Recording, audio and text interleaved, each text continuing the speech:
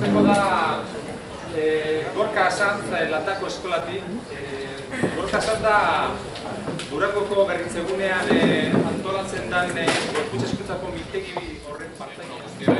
Eskerrik asko.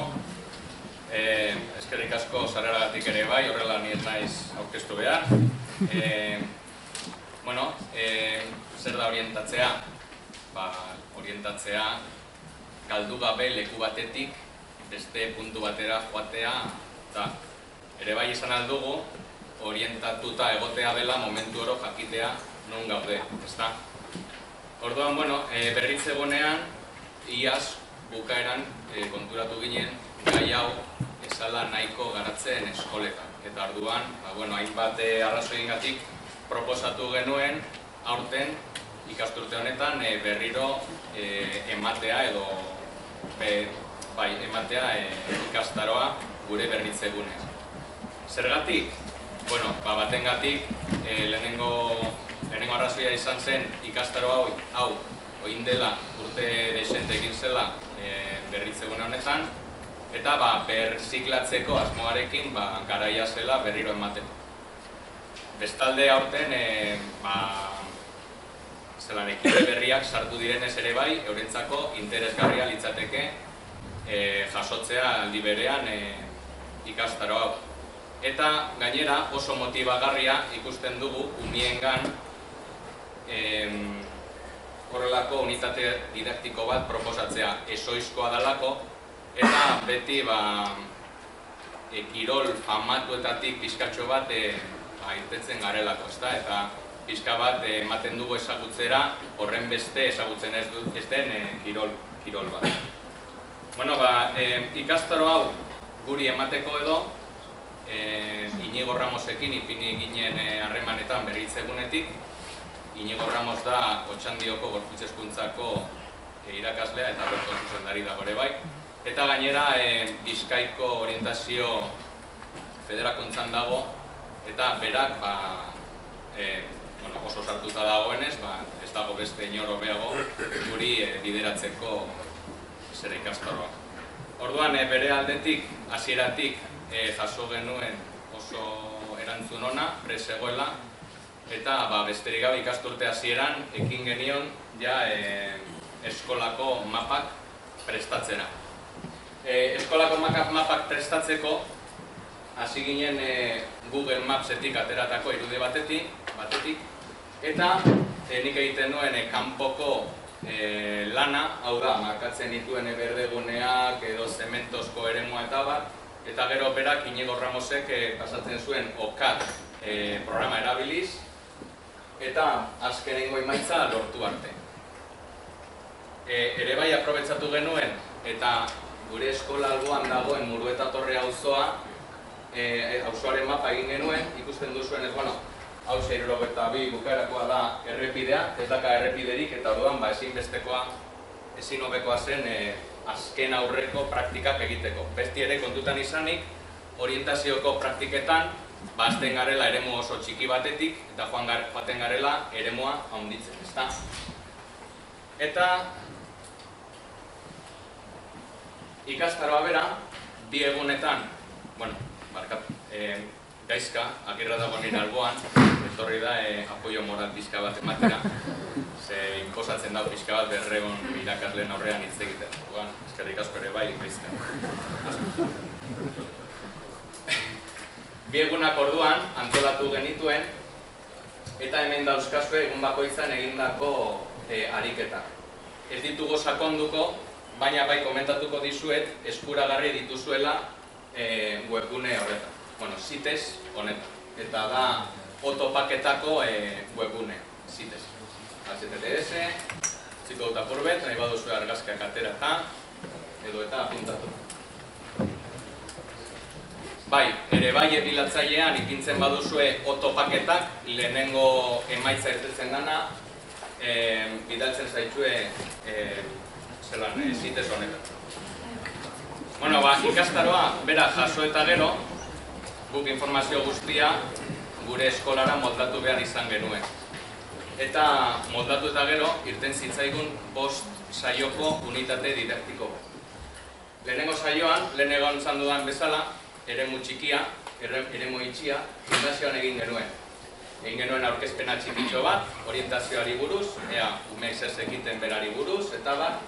Eta gero hasi ginen egiten eh, oso e, oso ariketa praktikoa. Lehenengoa izan zen gimnasioko mapa bat egitea. Orduan hainbat material e, ipini genuen gimnasiotik eta eurak egin behar zuten e, berton ikusten zutenaren mapa. Hasieran guk ez gienen ez genien eman e, aholkurik edo eta orduan eurek egin zutena e, ikusteko berrikusi genuen guztion e, artean eta orduan bai eman genizkien e, zelan da, eh, zera batzuk? Aholku bat, eskerrik asko. Lehenengo ikus, ikuspuntua, mapa bat egiterakoan ezinbestekoa da goiko ikus, ikuspuntua eukitzea. Bigarrena iztegia, nomenklatura hau da guztiok erabili behar dugu iztegi berdinan mapa bat osatzerakoan. Ba, kono bat ipintzen badugu izan behar da iruki bat, lauki zuzen bat margotzen badugu esan nahi du koltsoneta badela, eta hau. E, bigarren mapa bat egin genuen moldaketa horiek eginez, eta gero binaka jarri ziren eta batak izkutatu behar zuen zehozer, map, e, gero markatu behar zuen mapak, eta bere bikoteak topatu behar zuen. Helburua zen topatzea, ez nire bikotea puteatzea eta ez topatzea. E, hortik aurrera, joan ginen egiten beste ekintza batzuk ez da, urrengo izan zen bederatzi kono eta konoen artean ibilbidea. Pasatu zitzaien e, ipintzen dira lurrean bederatzi kono, bat markatzen da irteera delako, ezberdin, beste kolore batez, eta eurak mapa orientatuta eukitna, saiatu behar dira, ibilbidea osatzen. E, urrengo ariketa izan zen buskaminas. Non agertzen diren bi talde, A, B taldearen aurka, eta kokatzen dira hainbat ustai, borobi bakoitza da ustai bat, lurrean, ezta? E, rotulki bat erabiliz eta pertsona batek, A taldeko pertsona batek markatzen zituen bilera bakoitzeko isa bat, mina bat, eta ordua, orduan helburua da heltzea besteen eremura minarik zapaldu gabe, edo alik eta gutxien zapaldu. Norbaitek zapaltzen bazuen hirugarren ustaian adibidez, bera eliminatuta gelditzen zen, holan atzera joaten zen, eta urrengoa jarraitu behar zuen. Orduan lantzen zen ere bai, memoria. Eta azkenengo eguna bukatzeko, bain genuen e, punto kardinala jola. Punto kardinalak ipintzen dira bi soka gurutzatuta isa bat, isa bat lortu arte, eta gero pertsonak ikasleak kokatzen dira e, euren lekuetan. Borobil bakoitza da pertsona bat. Honen gainean gero da, saldaera gehiago, egin dira zeinaka, sortzinaka, materialarekin, eta bueno, baina eredu bezala erabiltzeko nik uste nahiko dela. Bigarren egunean, e, izan zen ere bai gimnasioa, gimnasioa jakin ezazuen ere grisa da, eta gero irten ginen kanpora. Egin genuen pizka bat zailagoa gimnasio barruan lehenengo hogeta masei konoko ibilbide bat osate, osatzeko aurreko astean egindakoaren antzekoa, baina zailagoa. Eta hogeta masei kono hoien azpian, ipini genuen bakoitzaren azpian e, animali baten argazki. Orduan landu genuen, egin genuen urrengo ariketa izan zen memor. Horretan, bakoitzak e, kono bat e, egin bat zuen ibilbide bat, eta altzatu behar zituen konoak ikusteko zein zen azpian da zegoen e, animalia, eta gero gure gana urbildu behar zen, eta banan-banan ba, aipatu. Dozen erdi edo, ez gehiago. Eta gero, ba, hasi ginen ja e, orientazio propioarekin edo. Orduan egin genituen urrengo ariketak ja e, inigoren laguntzarekin sortutako mapak e, erabiliz. Lehenengo egin genuena izan zen errelego itxua, non ipintzen ziren bi kide, bata, bet, barkatu, e, non ematen ziren, banatzen ziren guztioi e, mapak, ezta? Eta bakoitzak egin behar zituen e, lau paliza, lau lekuetara joan, eta berton zegoen kode bat apuntatu, beti kontutan izanik gutxienez egin behar zituzpela lau baliza eta gehienez zazpi. Lau eta zazpi bitartean beteta gero, etorri behar ziren berriro e, irtera eremura, markatzen dela e, zera batekin, e, triangelo batekin, eta urrengo pertsona zetorrenarekin egiten zuten mapa trukaketa. Ulertzen da?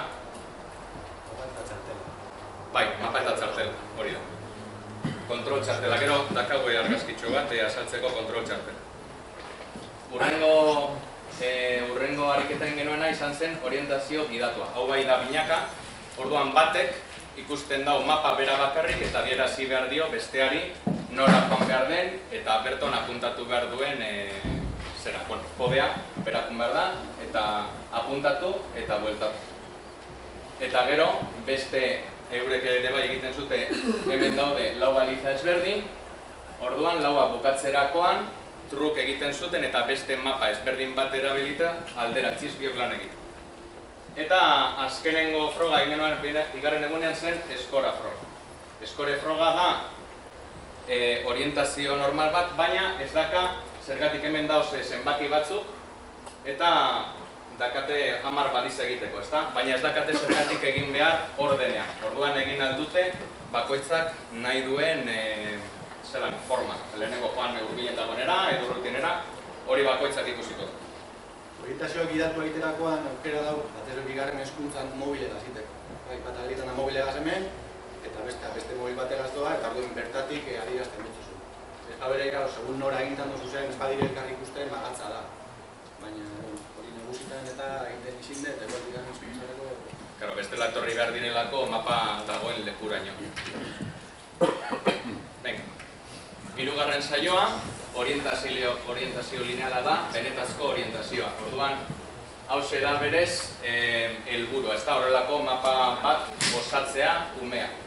Beti ere kontutan izanik irukia dela hasiera eta bi borobilda doen lekuan dela bukaera. Orduan, eh, ibilbide honetan egin behar dutela, egin behar dutena da lehenengo balizara joan, gero bigarrenera, hau da, orden konkretu bat jarraitu behar dut horrela lau mapa ezberdin geneuzkan eginda, eta lehenengoa bukatu harla, bigarrena hartzen zuten, eta horrela lauak bukatu hartzen. Urrengoa, azken aurreko saioa izan zen muru eta torretik. Hemen ja, bueno, eremua markatzen dago zaitasun maila. Orduan hemen baliza kopurua asko handiagoa zela, e, zela ikusi alduzue, amazazpi baliza zeuden, eta ere ja kilometro betekoa edo gutxi gora bera e, izango zen. Hemen markatzen dira isekin, pertsonak egindako e, zer da. Hau da, izan alda paperontzi bat edo farola bat, eta e, bilberdeak pasua izkak, eta, eta Balizei buruz, eurak topatu behar dutena, guk eskolan e, lantzeko egin genuen pegatina batzuekin. Pegatina horren erdian ipini genuen balizaren e, zenbakia eta gero kode bat, adibidez e, matrikula kotxe bat. Bale, orduan lau zenbaki eta orduan egin behar zute lehenengo egunean egin behar duzue lehenengo zifra. Bigarren egunean egin behar duzue bigarren e, letra. Eta bar, horrela aprobetsatu izateko eta ez ibiltzeko ipintzen eta kentzen gero balizak. Muru eta torretik ibili ginenean, auzotik ibili ginenean orduan bai, atera genituen baliza batzuk e, folio batetik normalean irtetzen ziren sei bat edo, kolore txu margotu genituen eta gauza bera ipini genituen e, balizaren seinalea, zenbakia eta gero atzekaldean kodea. Hauek bai e, jarri bat ziren, ze bestela gero gurasuek eta lapurtu egiten zituen. Jarri eta ken, eta gero bat. Bueno, azkenengo e, saioa eta opari edo sari bezala, ba, urtero otxandion egiten den orientazio topaketara joan ginen. E, aurten gainera izan da amargarren urte hurrena, eta orduan e, topaketak iraun dute azte beti. Egun bakoitzean gutxi gora bera, e, berreon bat ume egon dira. Beraz guztira, ba, Euskal, Horro, Euskal Herri osotik, ba, mila ikasle joan dira zestrakurbak agertzen dira, eta bar, orduan, karo, guk lantzen dugun, e, lantzen, dugula, lantzen duguna eskolan, e, daka helburu bezala gero, hause, e, erabiltzeko kapazak izateko. Orduan, hemen ikusten duzuenez, bueno, hemen heldu ala, autobusak aparkalekoan aparkatzen dira, beti bezala hasiera iruki bat markatzen dago, eta borobila leku berdinean, markatu bi borobilekin markatzen da. Hemen lau posibilidade daude, e, ibilbide luzea eskerretik aterata, ibilbide laburra eskerretik aterata, zeigarren mailako entzat luzea eta borgarren mailako entzat laburra, eta gauza bera eskumatik. Orduan, norbait eh, irtetzerak, irterak ematerakoan beti ematen ziren minutu bateko tartearekin ere bai, al, alde neurrian bakoitza bere lana egin ahal izateko, eta hauek e, binaka izan dira. Eta egin da, otxandio eta horretako e, basoaren artean.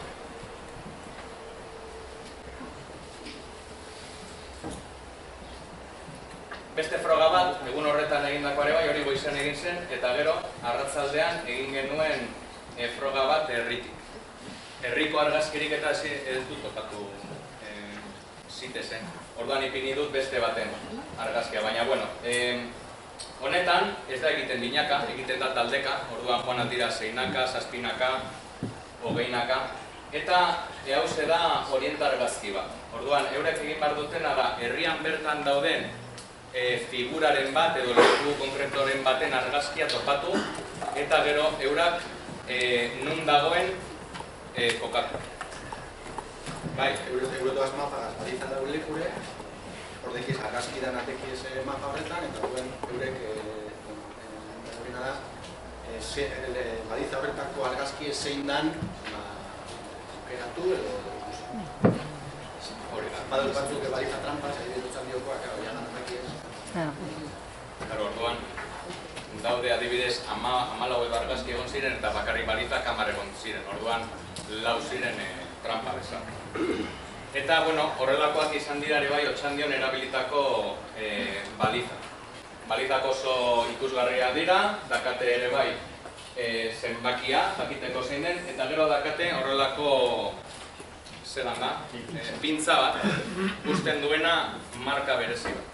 Orduan, bikote bakoitzak eramaten zuen kontrol txarte bat horrelakoa, eta gero pintzen bitartez, ba, usten zuen e, zelan, segokion e, marka, segokion lekuan, bai. Eta ikuste dut honekin, bukatu dut.